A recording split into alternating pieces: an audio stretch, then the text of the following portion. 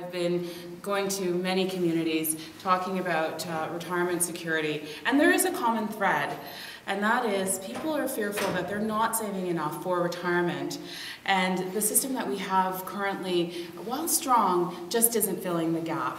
So today we are here to consult to talk about our key design features of the Ontario Retirement Pension Plan and to ensure that we develop the best plan possible for the people of Ontario so that they can have the retirement security that they deserve. This is about our collective futures. You know, study after study has really shown us that people simply are not saving enough for retirement, and there are reasons for that. Currently, workplace-based coverage is low. Only two-thirds of Ontarians have uh, coverage at work through pensions. We also know that the savings rate is very low. People simply are not using the voluntary tools that are out there.